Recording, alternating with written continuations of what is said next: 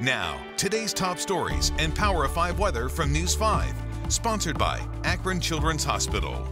Hi, everybody. I'm Rob Powers. Here's a look at today's top stories. We've just learned that seven COVID 19 cases have been linked to a recent weekend at Put-in-Bay.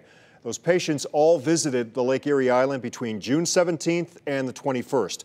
Others who visited certain island establishments on those days are now being asked to watch for symptoms and self quarantine for the next 14 days.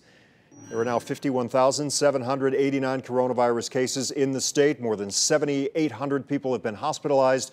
2,863 have died. Now, that one day increase in cases, hospitalizations, ICU admissions, and deaths are all higher than the 21 day average. Case Western Reserve's Health Education Campus is no longer needed as a surge hospital. Cleveland Clinic converted the campus building into a hospital-like facility in preparation for an uptick of patients with coronavirus, but the clinic says because of aggressive public health measures, it's just not needed anymore. Campus will transition back into use for students in time for the fall semester.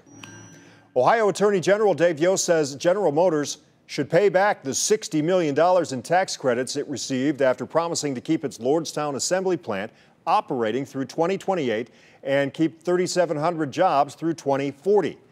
GM, of course, closed down the Lordstown plant last year, sold it to Lordstown Motors, and instead will move ahead with plans to build a battery cell plant in Lordstown.